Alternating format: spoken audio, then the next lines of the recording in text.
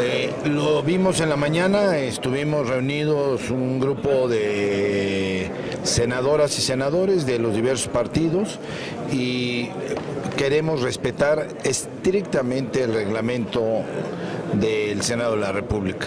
Las minutas de los diputados, la de ingresos, eh, llegó a las 10 de la noche, la de egresos llegó a las 4 de la mañana el día de hoy. Entonces, ¿qué estamos haciendo? Buscando el tiempo para ser muy respetuosos de lo que nos dice nuestro reglamento.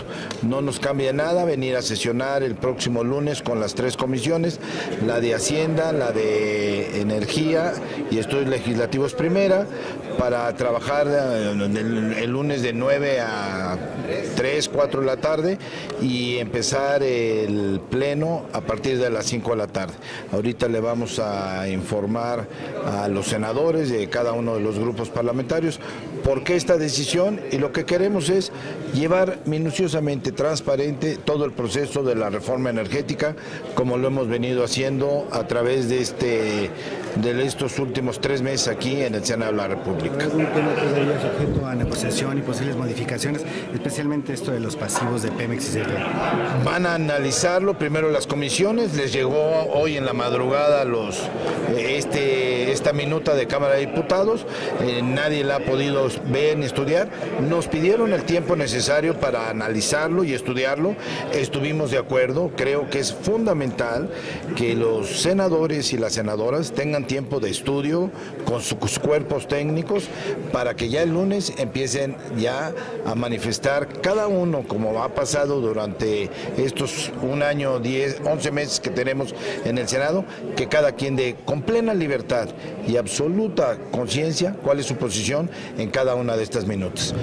Yo yo seré muy respetuoso de la decisión de las comisiones y después recordarles a ustedes que después de la aprobación de estas tres comisiones se irá al Pleno, a la votación, al análisis y a la discusión.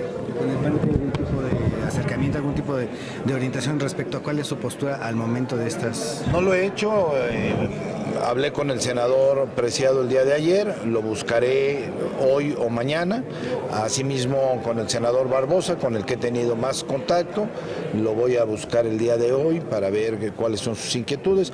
Estoy seguro que su planteamiento será, déjenme lo estudio con tiempo, por eso obedeció este cambio y no legislamos el día de hoy, ni quisimos hacer nada en fast track, como lo advertimos desde que llegó la minuta constitucional por parte del presidente Peña, como lo manifestamos también aquí con ustedes, de que en las leyes secundarias, que el PRI nada más necesitaba cuatro votos para hacer la mayoría en el Senado, les dijimos que íbamos a buscar el consenso, lo estamos trabajando, así es, y que de ninguna manera íbamos a, a sesionar para hacer un fast track en una reforma tan importante, tan trascendente para todos los mexicanos.